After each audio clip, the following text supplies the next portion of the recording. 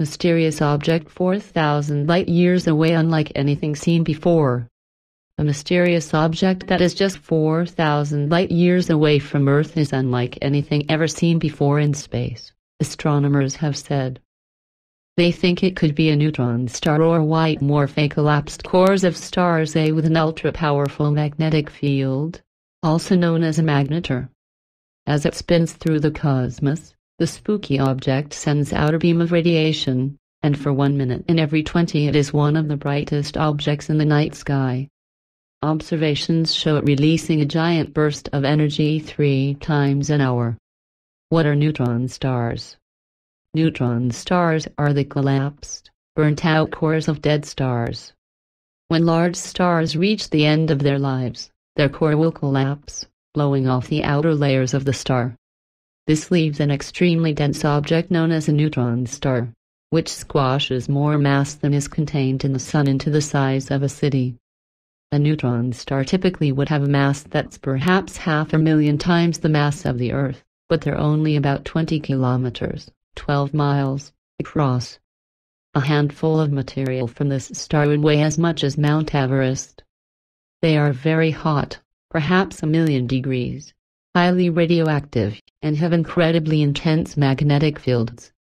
This makes them arguably the most hostile environments in the universe today, according to Professor Patrick Sutton, head of Cardiff University's Gravitational Physics Department.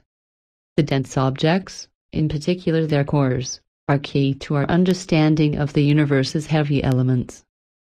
Massachusetts, say bye to your power bill if you own a home in these zip codes. Add. Energy Bill Cruncher. Massachusetts, say bye to your power bill if you own a home in these zip codes. The mysterious object that has just been discovered could also be a magnetar, which is an incredibly magnetic neutron star. Astrophysicist Dr. Natasha Hurley Walker, from the Curtin University, International Centre for Radio Astronomy Research, in Australia, led the team that made the discovery. Her team was mapping radio waves in the universe when they came across the potential magnetar.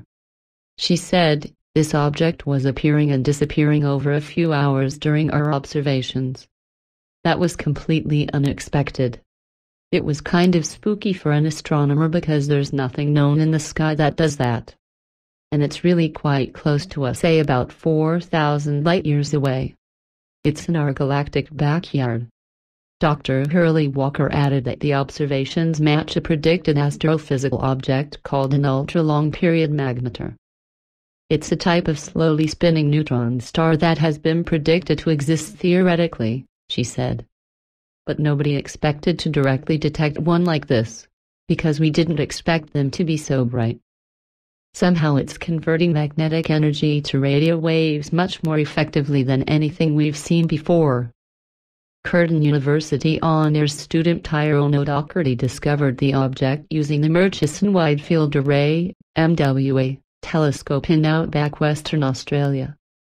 He said, It's exciting that the source I identified last year has turned out to be such a peculiar object.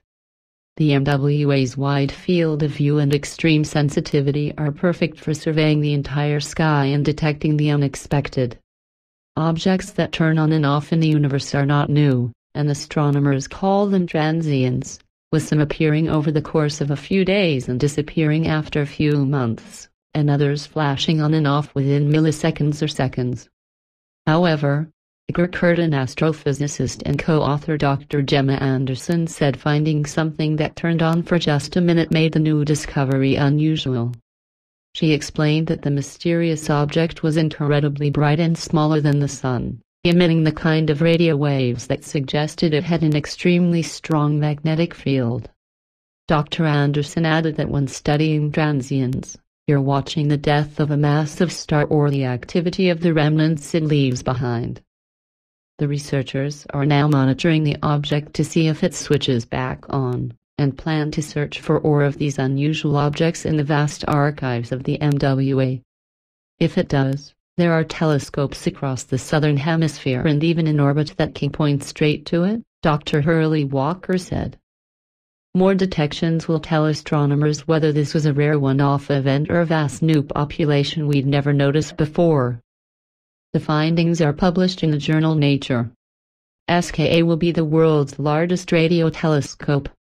The Square Kilometre Array, SKA, a joint project between Australia and South Africa, will be the world TMS largest radio telescope. More sensitive than any current radio telescope, it will enable scientists to study the universe in more detail than ever before. The telescope will be located in South Africa and Australia, with the international headquarters located at Jodrell Bank, in the UK. Nearly 200 mid-frequency dishes, including the existing Meerkat facility which was officially launched in July 2018, will be located in the Karoo region of South Africa. Around 130,000 low-frequency antennas will be located in Western Australia. Both sites are far from sources of radio frequency interference which will allow for very sensitive measurements to be undertaken. The SKA will be made up of two instruments, SKA mid, the dishes, and SKA low, the antennas. The signals from the dishes will be transported via optical fiber to a central computer where they will be combined using a technique called interferometry. Similarly the signal from all of the antennas will also be combined and converted to scientific data that astronomers will use to study the universe.